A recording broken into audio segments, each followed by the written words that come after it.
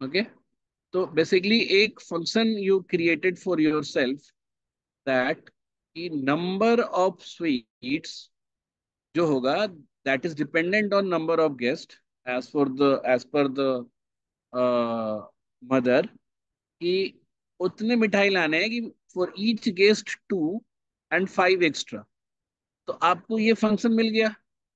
तो बेसिकली इस फ़ंक्शन की पूरी पूरी जो रिस्पॉन्सिबिलिटी वो इतनी है कि आपकी एक डिपेंडेंट क्वांटिटी है which is called f x वो एक्स पे डिपेंडेंट है, और वो how do we get the value of f x by multiplying x by two and adding five to it ठीक है, यहाँ तक समझ में आया तुम लोगों को?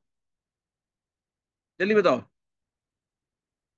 तो अब यहाँ अगर if you see that f x is equal to two x plus three and ये यहाँ पे थोड़ा करेक्शन करना है कि g x is equal to x minus three by two and the first question is that f of g x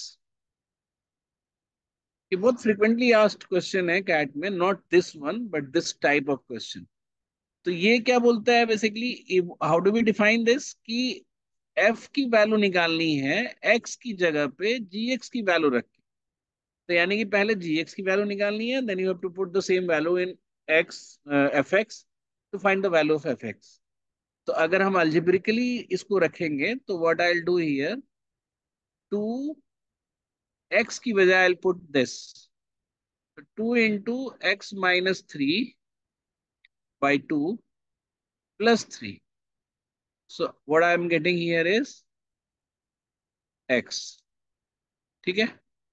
और हमारे option में वन है वन बाई एक्स है, ये है तो ये तीनों तो होगा नहीं तो ये हमारा आंसर हो जाना चाहिए।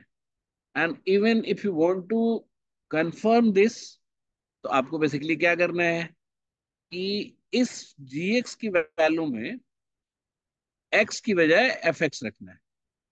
Basically two x plus three minus three by two this will be your g of fx so what are you getting here is x only so you can just see that these two values are equal. तो आपका ये question solve हो गया. तो basically ऐसे जितने भी questions आएँगे, आपको उसमें अल्जेब्रा या अल्जेब्रिक थ्योरीज का यूज़ नहीं करना है. These are the algebraic functions but not based on any particular art identity और रूल्स तो आपको जैसे जैसे बोला है वैसे वैसे यूज़ कर लेना है।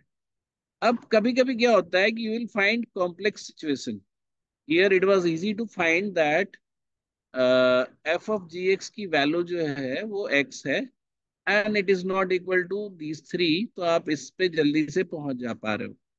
But if it is not very obvious और it if it takes time to solve तो आप अपने हिसाब से एक्स की वैल्यू कुछ भी ले सकते थे। जैसे मान लो कि आप आ, ये था एक्स माइनस थ्री तो एक्स को आप ले लो मान लो पाँच ले लिया ठीक है?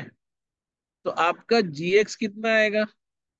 Five minus three by two which will be one और फिर उस जी एक्स की वैल्यू को आपको एफ़ में रखना है। तो एफ़ ऑफ़ वन बेसिकली आपको कैलकुलेट करना है तो two plus three which will be five only तो आपने क्या देखा कि आपने फाइव रखा और फाइव ही आ गया।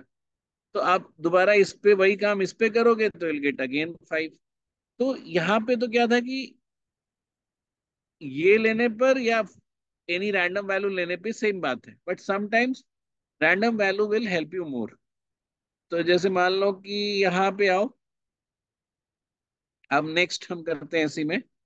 ये दिया हुआ है if the what is the value of f जब ये मतलब सेम है। तो आई पुट एक्स हियर तो वो तो टू एक्स प्लस थ्री ही हो जाएगा। And I put x minus three here तो this will be equal to x minus three minus three divided by two है ना? तो फिर ये हो जाएगा तुम्हारा फोर एक्स प्लस सिक्स मतलब just I did the translation और कुछ नहीं किया मैंने। तो ये तुम्हारा हो जाएगा three x is equal to minus twelve और x is equal to minus four ठीक है? So it was just translation जो दिया हुआ है वो बोल कर देना है।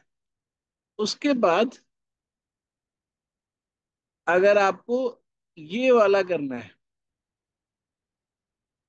तो every time you start putting the value of this into the previous value और ऐसे करते जाओगे तो it will take a lot of time तो यहाँ पे बहुत अच्छा आइडिया है कि आप x की वैल्यू जो है, कुछ लेकर चलो फाइव या समथिंग ठीक है?